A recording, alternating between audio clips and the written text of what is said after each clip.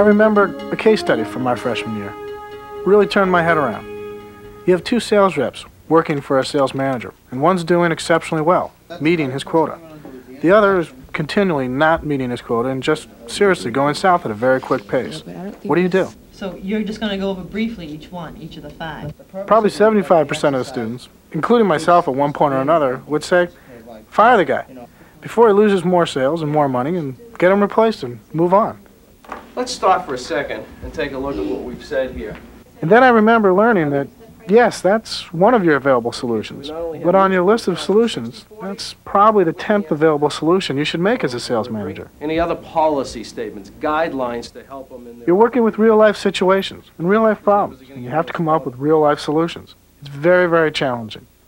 That's what Bentley does. It challenges you.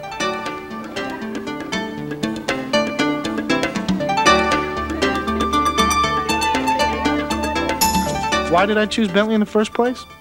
I looked at the facts. First of all, I liked the size of the school. Not so big that you'd be lost, but not too small either. It seemed manageable to me. I liked that it was close to Boston. Not right in the middle of the city, but not too far away either. I knew I wanted a school with an outstanding business program, but with a real commitment to liberal arts, too. And if you're talking about the governor of the state, it seems to me that So did I make the right decision? Sure. I had a great four years at Bentley. Did I know all there was to know about Bentley? No way.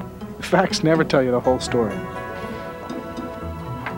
And the second way is to control its effects. Now that's still true. In other words, when we're dealing You know who taught me the most about how the world works? My government professor. By far the most challenging teacher I had in four years at Bentley. Somebody give me a two-bit definition of fallible. I really like the personal contact with my teachers. Um, I like the interest that they show in me. Or if you wanted to major in some business area, like in communications or in management or marketing, you could minor in business. I feel ethics in a really comfortable with them because they're enthusiastic the law. about relationships outside of the classroom and really helping and understanding me. You think that that position is right? I can see where some people can say that corporation is just to make money. The only way they can make money, though, I think, is if they do um, pay attention to their the workers' needs.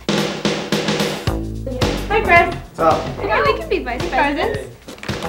Want some dip with those chips? Doesn't look like it's closed. It's done. Remote control. The friends I made my freshman year, a good half of them are still my best friends five years out of school. If I had just gone to class and, and studied and sort of kept to myself more, I just, I never would have developed the kinds of friendships. There are over 75 organizations, a student organization. Kind of group beyond academics has definitely been a I'm involved with the radio station on campus, uh, WBTY. The next tune is by a group called The Pursuit of Happiness. It's called I'm an Adult Now. Why did they see them as helpless? Remember, these are the people who once owned them. So you see there are layers of this um, relationship. Okay? Yes. Bentley's business departments are excellent, no doubt about it. But to me, one of the best things about Bentley is the strength of all of its other departments as well. That's what really sets it apart. The guy's no fool, okay? It dawned on him that, wait a minute, this, I'm looking into the mind of the Chinese educated class, and this is how they think. I think in order to succeed in the business world, you can't be uh, strictly business. You need to know about other things that are going on in the world. And I think that the liberal arts program here Some of my favorite that. teachers are the liberal arts teachers. They're interested in, in a lot of things.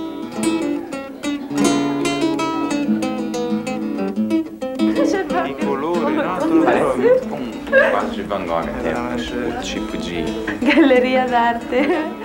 The business world is really a global marketplace these days, and Bentley has a worldwide reputation. Part of this is because of its internationally recognized Center for Business Ethics. It also has a truly internationalized student body.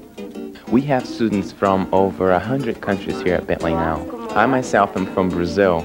It's very interesting when you put people who come from such different backgrounds together. It kind of opens your eyes to, well, there's a lot more going on in this world than what happens in business. And in fact, a lot of those other things have a direct effect on what's happening in the business world. Je les ai visités pour trois jours. Bentley gives students a chance to study abroad. I chose to go to Strasbourg, France for the summer. It was wonderful. Probably my best experience so far I was the first person to study at Oxford University. I was there with students from Yale, Harvard, Princeton, and um, I did just as well, if not better, than most of them as far as grades. Studying is very, very important. But we have our free time, and for those who like to, who are involved with the theater, it's a really it's a perfect getaway. Buried it under the mashed potatoes. I know your tricks. Now this is really going to break up the page. I don't know what we want to run though. Which stories go in here? The The Vanguard is Bentley's newspaper, and it comes out every Thursday, and it covers mostly school events. I'm the president of the Bentley Student Union Society, and we helped uh, organize a vigil in support of human rights. It was great. A lot of warm hearts. We played intramurals together as a floor, which was probably the best thing of all. We got psyched for every game and had a blast every game, and lost most of them, but we still had a great time. Sports is a great way to, to relieve a lot of pressure, a great Freshman way. year and part of sophomore year, I was a tennis player. I played in one. That's the whole learning process right there. Being able to be in an environment where you can do physical things and mental things. And so I'm going to call out um, a type of person, some just a general type of person. Bentley professors are first-rate teachers, and what's more, a lot of them have consulted with Fortune 500 companies.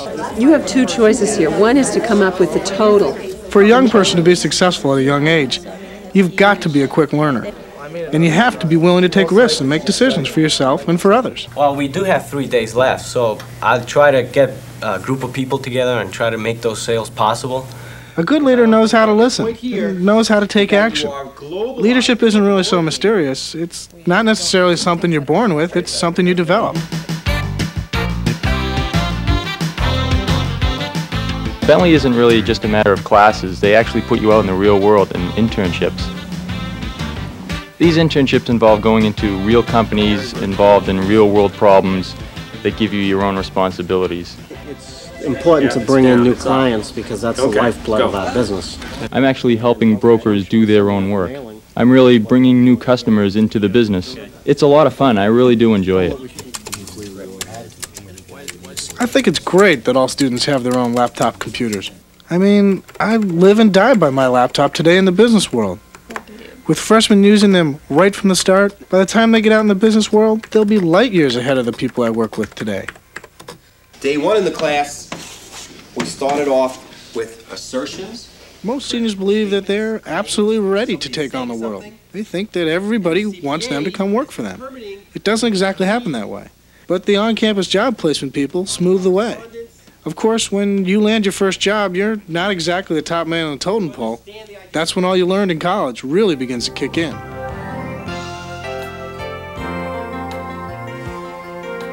I know that if I hadn't gone to Bentley, I would definitely not be as successful in business as I am today. But you know what? Even though the classes at Bentley were great, I'm most thankful for the total experience. That's what Bentley's really all about.